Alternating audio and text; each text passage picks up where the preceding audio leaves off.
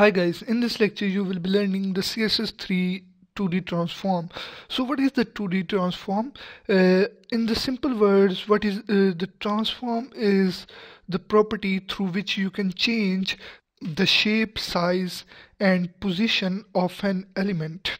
So that is called the transform and 2D is called the two-dimensional. You can change the position, size and shape of any element in two dimensions. So here to see the effect of the transform we have to apply the transition. So you can see the effect of transform clearly. Without the transition you cannot see the effect of transition transform. So now here I'm gonna apply the hover over the div. And in between this we have to define the properties for the of the transform. First of all write the transform.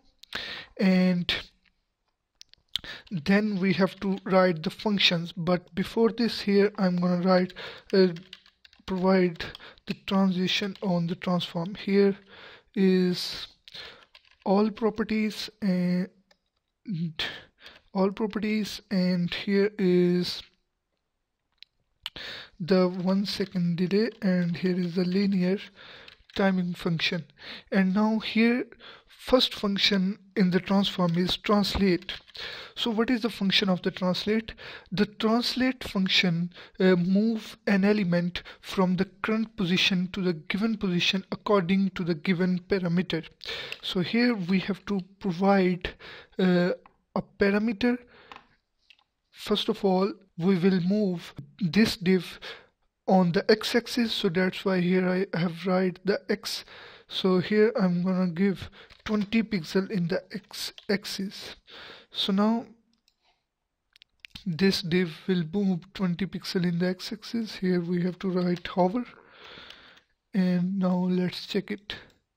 So now here you can see that div is moved 20 pixel in the x-axis so if we write y-axis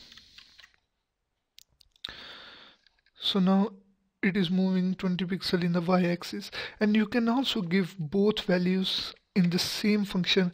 What you need to do just write translate and 20 pixel for the x and 20 pixel for the y-axis and here is it's moving.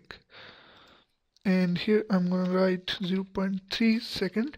So now it is fast. The transition is now is become fast and the next function is rotate. You can also give the rotate.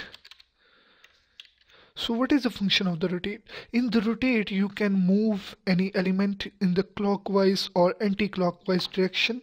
What you need to do you just need to give the angle. Here I'm gonna give 20 degree. So now it is moving 20 degree. Here it's moved 20 degree. And you can also give different angles minus 180 so now it's moved minus 180 here you can see that. So in this way you can apply many functions. Now I am going to give another function that is the scale. So what is the scale? The scale is a function in which uh, we can increase width or height of the div along the x-axis and the y-axis. Here if we write x.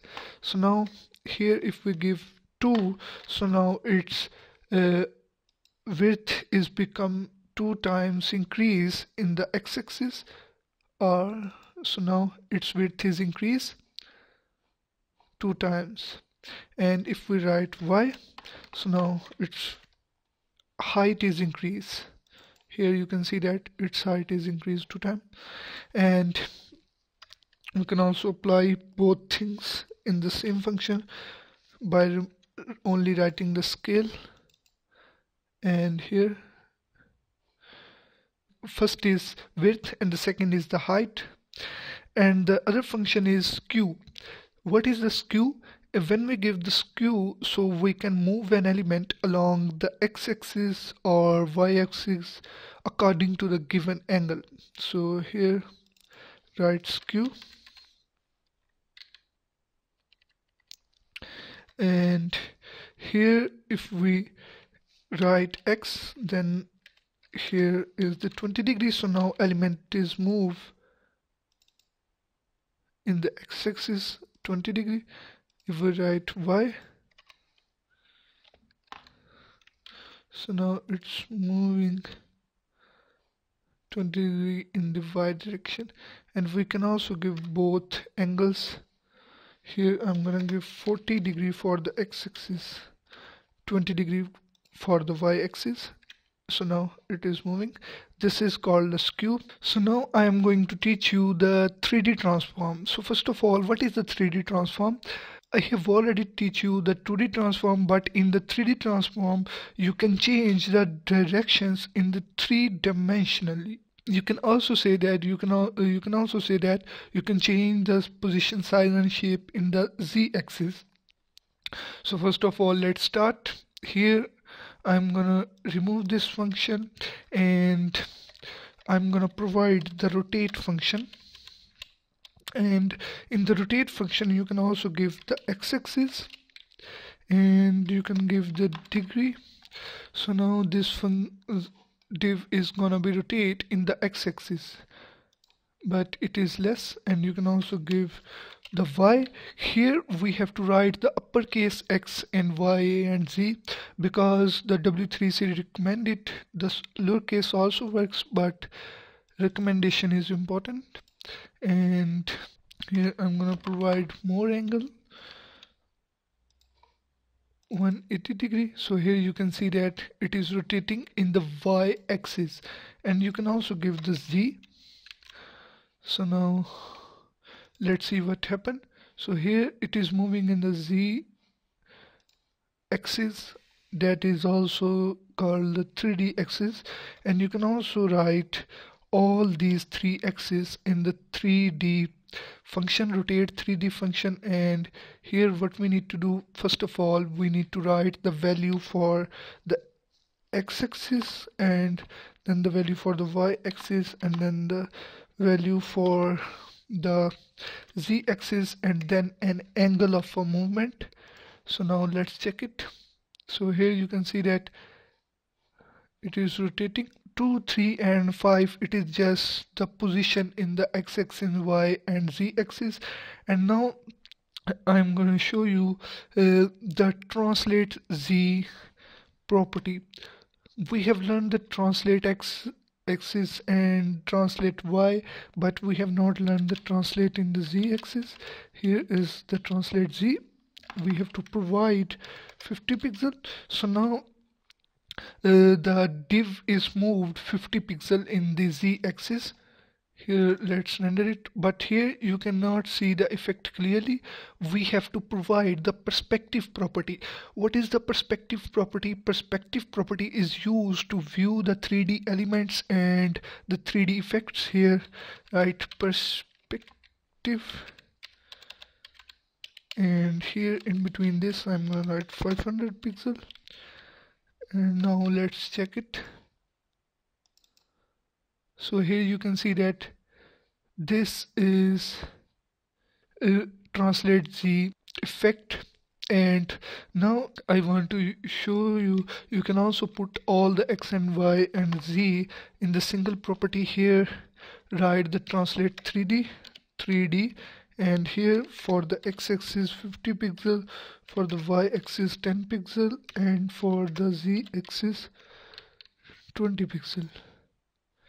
And now let's check it. It is moving. And now I want to show you the scale property for the z-axis and the 3d axis. But for here I'm gonna write scale z 3 it is the value for the z-axis then the div is placed but here we have to provide the perspective property. Here is a perspective. Perspective 500 pixels and now let's check it. It is not clear because we have to provide another property that is rotate.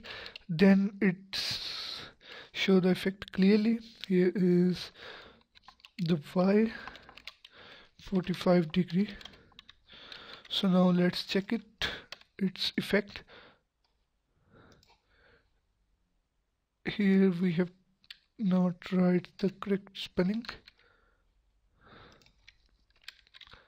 So now this is called the scale because it is changing uh, the size of the div in the z-axis we have provided the scale property for the z-axis it increased the size in the z-axis three times. And now I'm gonna provide 3d and here is the first value for the x-axis second is for the y. Then third is for the z. So now here it is. And in this way you can see that x-axis y-axis and the z-axis size is increasing. And the next property is the rotate y. So so the next property is back face visible. So here I want to show you why we are gonna apply the back face visible. Here is the rotate y so whenever we apply the rotate y so here the div is moving but its back face is visible when it is moving. But if we want to hide its back face we have to provide the back face back face visibility. Here we have to write hidden. So now let's check it and here you can see that its back face is hidden when it is moving. So you can also apply the visible so it's will be visible. So in this way you can use the 2d and 3d transform. And in my next lecture i'm going to teach you the animations. What is the animation? Let's see in the next lecture